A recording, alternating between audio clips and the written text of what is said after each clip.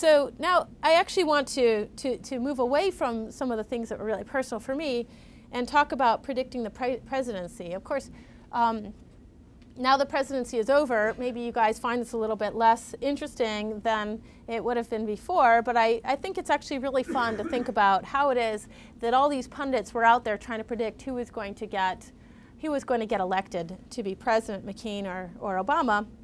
There was one poll, um, uh, the Mason-Dixon poll, that found that Obama was ahead of McCain in Virginia by two percentage points. So let's just assume it was 51 to 49. Unfortunately, there are also these undecideds. So um, I'm just going to assume it was 51 to 49. The margin of error was four percentage points. And what that means is that if you had 100 polls, 95 of them would find Obama's support somewhere between 47 and 55 percent. Okay? So a lot of reports claimed they were head-to-head, -head, and others said that Obama is ahead. And the kind of question like, what do we mean? What can we really interpret out of this?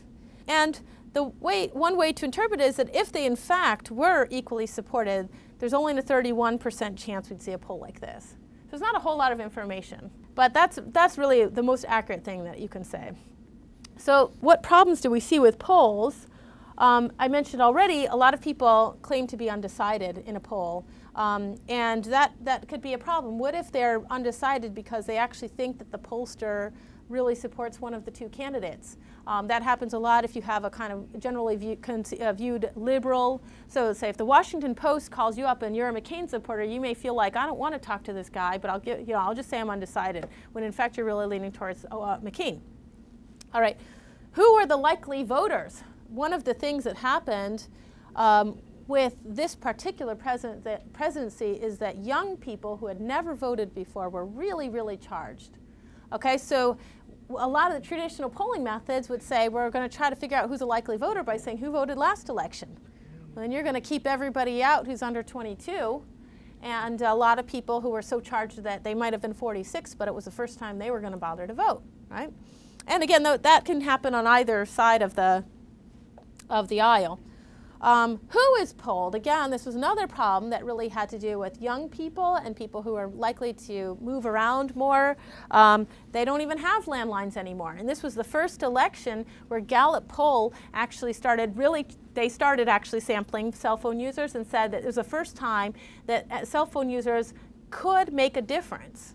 Before, there was like, there's so few cell phone users, uh, they, they can't make a difference. But they said this time they could. Margin of sampling error. I want to actually give you a story for this one.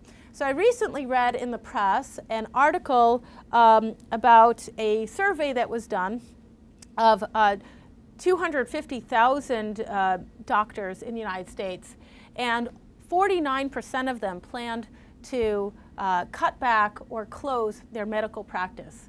And they cited a whole range of problems from bureaucratic details that they didn't want to deal with anymore, Medicare not paying enough, and you know all sorts of things as to why they're very unhappy with the profession. Now, they even pointed out, I had a statistician on there, I don't know who this guy, who gave this guy tenure, saying the margin of sampling error was 1%. Well, it turned out that their survey had a 4% response rate. Okay, so people who were close to retirement or who were very angry they were probably much more likely to respond. And to talk about a sampling error, so what is a sampling error? A sampling error is given a sample, how likely is this that it represents everybody? Now, if you have, if you do a poll um, of, say, presidents, most people actually do like to respond what their presidential choice is, and they're not so picky about who's asking them the question, as I was su suggesting earlier. Um, so the margin of sampling error is actually a calculation that's done entirely based on how many people respond to you. So you, if you see a lot of these articles in the news that say, you know, with a three, the margin of error is plus or minus three percentage points, um, that's a calculation that's done based on how many people responded to the poll. But a different question is, was however many that was, what percentage is out of the whole population that I tried to sample? Okay, and unfortunately in this case, that was a 4%, and that suggests a huge amount of bias, and talking about margin of sampling error is just inappropriate in this context. So bias in the question itself, um, that can happen a lot. A lot of these polls, when people try to figure out what Americans think about abortion, for example, that's a great one where the way you ask the question really changes how those statistics come up. There's no uniform system for voting, so that affects who will vote, which votes count. Um, that's a, a, big one when it came uh, to concerns that people had before the election, that there were certain places in the country where people were going to potentially have to wait for many, many hours to vote. Would they vote or would they not? And if this happened in predominantly poor areas uh, where people predominantly supported Obama, would that affect the outcome? So that was a big concern. Um, and uh, are people truthful? Of course, you know, you might, especially this happens a lot with exit polls. When you see these things, the exit poll didn't agree with what the outcome was, and there's a lot of suspicion then that there was some um, uh, corruption in the outcome of the actual result based on exit polls, and maybe the exit poll people are actually lying to you because they don't want to talk to you.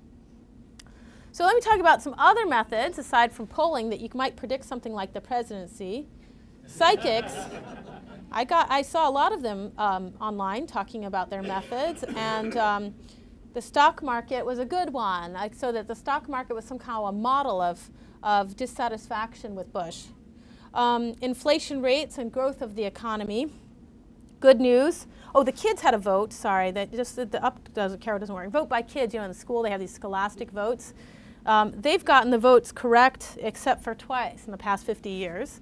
Um, what divorced women feel, this was my favorite one. There was a big article about how divorced women were going to change the, uh, were going to affect it. Um, social web data, so what's going on about internet uh, queries. So how many queries are about Obama versus how many queries are about McCain. Um, polls, of course, you mentioned, pundits. Um, and I want to tell you my favorite way of predicting anything, which is my magic coin. So I have this coin, it's really great. It tells me the pre presidency in any given election with a very simple rule. If it's heads, it's Republican. If it's tails, it's Democrat. You might not believe in my magic coin, but let me tell you, it's actually worked 15 out of the 17 past elections. It's a pretty good track record, right, for my magic coin. I bet you're impressed. If I just did that by chance, I would only have a 0.1% to do so well. That's like one in a thousand, right?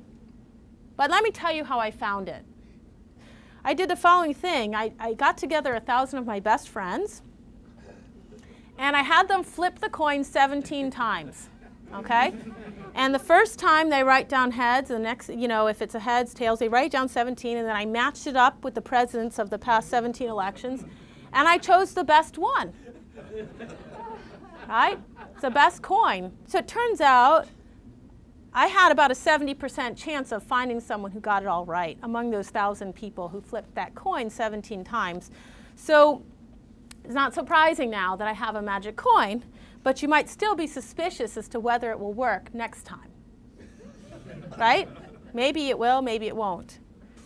But then there's this question, what does that actually say about regression analysis? So what's the idea of regression analysis? It's that we look at past behavior um, and we try to find a statistical model that models it well, that predicts well past behavior. And then we say, this is going to be a really good predictor of future behavior. Now, unlike a coin, you usually put variables in your regression analysis that you have reason to believe will be related to the outcome. So for example, um, I was reading a story about some regression analysis done on Bordeaux wines. And this guy got together a model in which he predicted how good the Bordeaux wines would be based on how dry the climate was, what the rainfall was, and other things that in fact do impact quality of wine.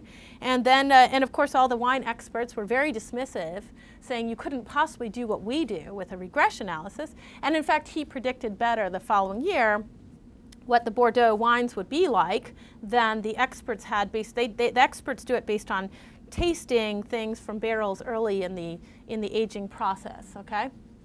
Um, so, but I do think that we give quite a lot of um, weight to model regression models when, unfortunately, there is this element which is, well, did they just get lucky? Did they just choose the best model out of many models that they chose that modeled the previous data the best?